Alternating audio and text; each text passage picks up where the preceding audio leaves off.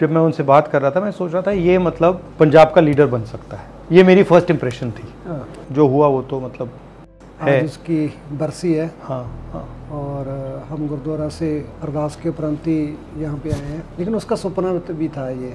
हम्म, वो बोलता था आप मेरे पे मत मेरे को तंग करो। मैंने तो जाना ही राहुल की टीम में है। मैंने तो वो वो मुझे लगा था। हाँ। वो कनेक्शन था। स्पेशल लड़का था बिल्कुल। वो जब छोटा था तब से करता था तब से इसमें इंटरेस्ट था पहले या? शौक था सर। कैसे? मतलब शुरुआत कैसे हुई? शुरुआत मतलब जैसे फिफ्थ क्लास में पढ़ता था हाँ। पहले। तो स्कूल में इनके भाषा विभाग के कंपटीशन होते हैं हाँ। पंजाबी भाषा की। हम्म, उसमें भी बाहर गई थी इसने तो वो सेकंड आई। तब हमें लगा भी यार इसमें थोड़ा सा कीड़ा गायकी का है। हम्म। मैंने पहली दफ़ा इसको देखा था जाके जीएनई कॉलेज में जब बी बीटेक करते थे। हम्म, तो मेरे सामने नहीं गाता था। अच्छा। तो मैं कितने मगर आपको मालूम था कि गाता है? हाँ गाता है। गाता लेकिन है। वॉशरूम में कमरा बंद करके अच्छा। जब बोल देते थे ना हम दोनों भाई बैठ कर भी हमें तो सुना दो कोई गाना। आपके सामने नहीं गाऊँगा। तो मैं इसको बिना बताए हुए थिएटर में पहुँच गया। हम्म, ऐसे करके अच्छा ऐसे बैठ उसको उसको मालूम नहीं था? नहीं मालूम था। तो जब इसने बाहर गाई तो पूरा कलो करो की तरह इधर गया इधर गया ऐसे ऐसे किया तो मैं बहुत हैरान हुआ। फिर उसको बाद में पता चल गया तो कहना मेरे को बहुत खुशी हुई है मेरे पापा मगर आपने कब बताया? उसी टाइम बताया बाद में बताया कि मैंने देखा? तभी उसको पता चल गया मेरा पता बेटे का। गया, अच्छा। मैं प्रोफेसरों वाली लाइन में बैठ गया। तो मेरे को फिर एच ओ थे सरदार साहब जो प्रोफेसर है वो बोलते हैं सर आप इसको रोकना मत।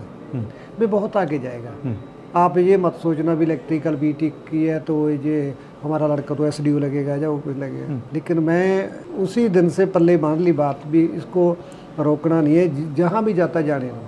हम्म, तो मैंने कनेडा भेज दिया कनेडा जाके तो और ही कुछ बनकर आ गया जिसके कलाकार के ऊपर भी ऐसे हाथ रख दिया वो भी हिट हम्म। जिसका गाने में नाम ले दिया वो भी हिट तो क्या था ये?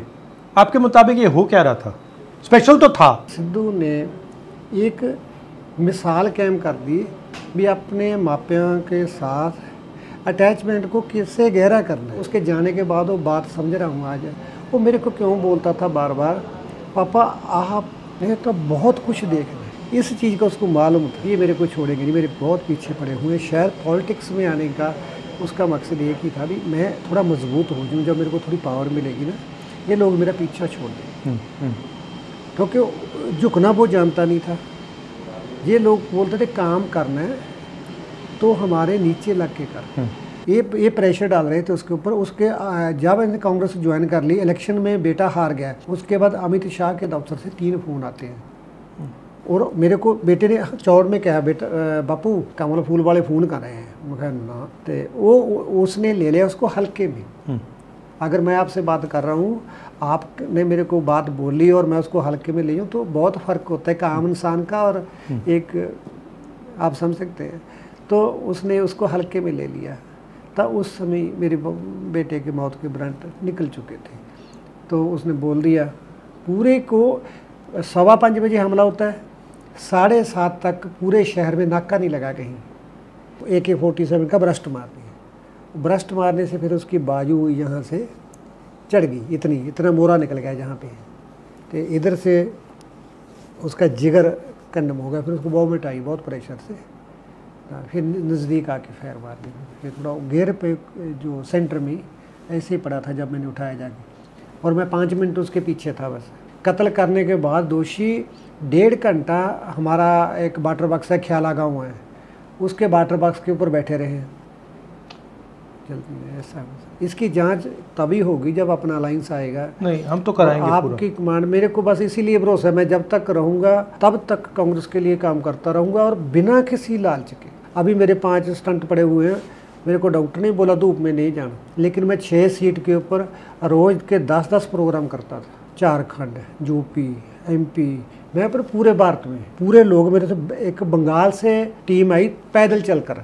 डेढ़ महीने में पहुँची घर पे लेकिन हर जगह उसको प्यार करने वाले हैं चाहे हम आपको गारंटी करके कह रहे हैं कि हमारी सरकार आएगी तो इसका पूरा हम मतलब बिल्कुल मेरे को बेसिक आप ना भी बोले आपके तो मेरे को बेसिक क्योंकि आप मेरे जैसे हालात से निकले हैं।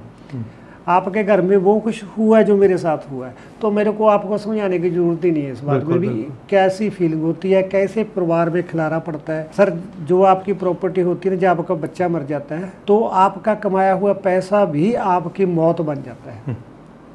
इसीलिए मैंने हिम्मत नहीं हारी। मैंने जिस दिन मेरे बेटे की अरदास हुई थी उस दिन एक अरदास की थी भी हे भगवान मैं कभी भी सुसाइड नहीं करूँगा।